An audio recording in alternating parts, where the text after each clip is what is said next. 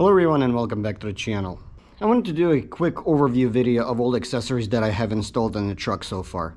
So some of those accessories include the ones that I installed myself and uh, others are part of the original uh, Chevy uh, accessories that were part of the packages that were shipped separately from the truck and just recently have been installed by the dealer. So without wasting too much time, let's take a look uh, at all the accessories.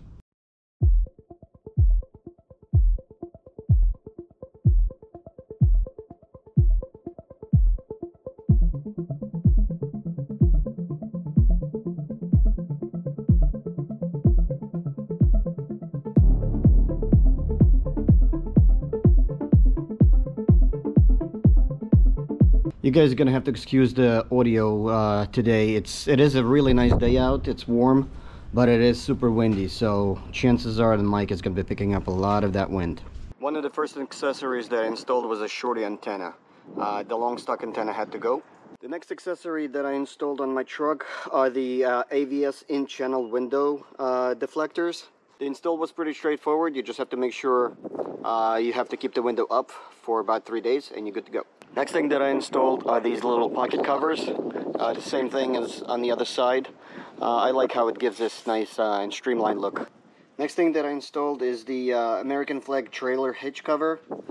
Uh, gives a little extra touch and uh, it also has this locking pin. For those of you who already follow my channel, obviously have seen this, the Gator EFX hard trifold cover. so far it's been working out pretty well. Let's open up uh, the tailgate and see what we got inside.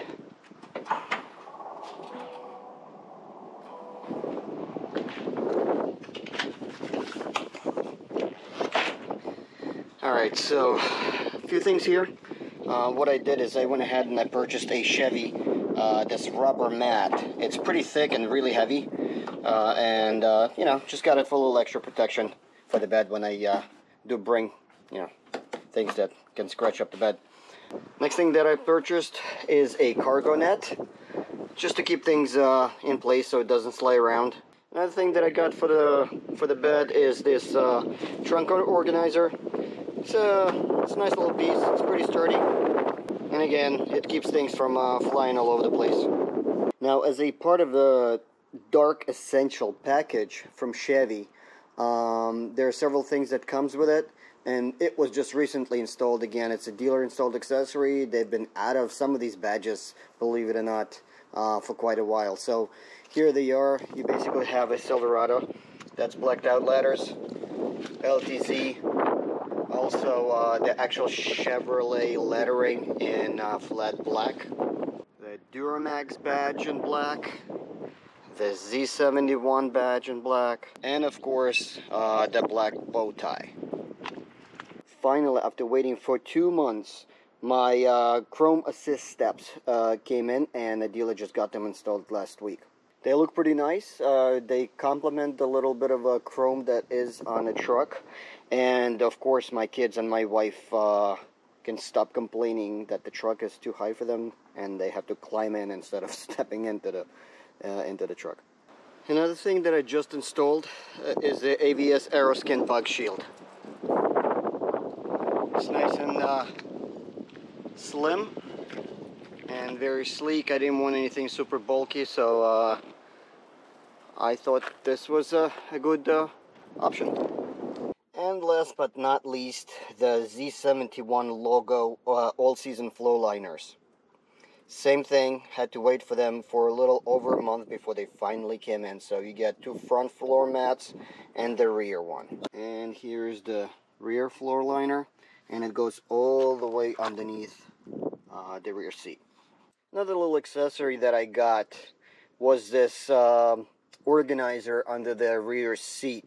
I was going to go with a uh, pocket that goes right under the seat, uh, the lockable one, but then um, I kind of decided to go with something that I can remove if I needed to, if I need to put something, you know, bigger and longer under the under the seats, so I don't have to keep, you know, unbolting the actual uh, Chevy storage or the aftermarket storage. So this uh, this bag worked out very well. It fits perfectly under the seat. uh, easily accessible, and I can remove it anytime I needed to. Alright guys, so that's what I have so far on my uh, Chevy Silverado. As far as the truck itself, um, I really enjoy it. It's been great. I did have one thing uh, that happened to it. It's not a not a huge deal, but it seems to be fairly common uh, on these new trucks, uh, the diesels that is, is the check engine uh, emissions light. Uh, it is a NOx sensor. Problem is, it is on back order countrywide, and no one knows when it's gonna come in. It's not a big deal. Doesn't really do anything major as far as drivability of the truck. So. Um, yeah, it, it, it, actually seems to be coming and going. So I drive it for a couple of days, the light will go away, then it'll show up again in a few days. And it's been like this for about a month now. And I got in touch with the dealer, and uh, they said call back in a couple of weeks again because it still is on the back order. Otherwise, like I said, the truck's been really uh, doing great.